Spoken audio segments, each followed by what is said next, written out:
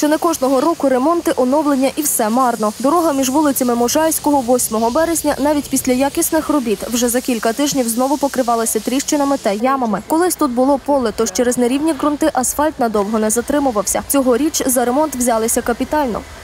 В зв'язку з тим, що е, значить, погані ґрунти були перенасичені водою, значить, е, зробили водовідведення, значить, е, влаштували, було прийнято рішення влаштувати георішітку. Тобто вона якби зміцнює конструкцію, значить, е, і е, простими словами, е, як е, е, функцію несе армування для щебню.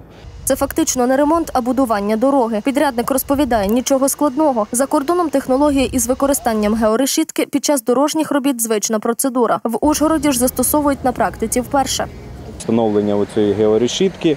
Додатково зверху воно покривається щебнем і асфальтобетон. Ми тут проводили ну, різні ділянки є просто в залежності від того, в середньому тобто, на цій ділянці тобто, товщина асфальту буде складати десь 13 сантиметрів. Після завершення на нову дорогу чекає величезне навантаження, адже в мерії планують сюди пустити об'їзну дорогу для вантажного транспорту. Паралельно із будуванням дороги підрядники займаються і укладанням тротуарів, а завершити ремонтні роботи обіцяють уже до початку зими.